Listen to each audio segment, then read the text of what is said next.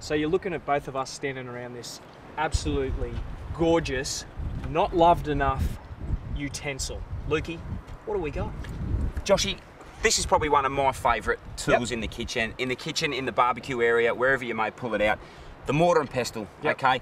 Definitely not used enough in the household, but you follow us through this great journey roller coaster ride and we're going to show you so many things we're going to be using this for well, that you're going to go and buy one. I'd even say 75% of the third world are using mortar and pestle. Definitely. They're bashing corn into maize. They're doing Think everything. where it come from. Think where it came from. Oh, mate, in the rocks of the caves there. Rubbing the stuff day. out. Yeah, old Betty's at home just relaxing. He's out just Creating working the mortar and pestle into it. Now, and now we have a, a, great little tool here for the barbecue. One of our tippy toppy favourites. What's one of the favourite things that go into it for you? Like, give us something from the heart that you love about that mortar and pestle. Mate, I love to make either a chermoula or a salsa verde, so it really bruises up all your fresh, vibrant herbs. You're just bashing them and just compounding those flavours into each other.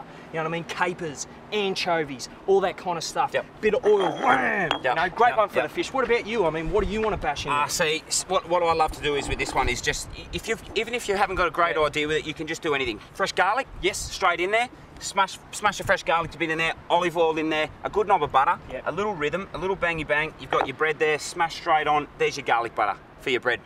Bam! Wham! I mean? In the oven, and two this is what it's all about. Get serious, get yourself a mortar and pestle. An inexpensive tool that should be in every kitchen in Australia.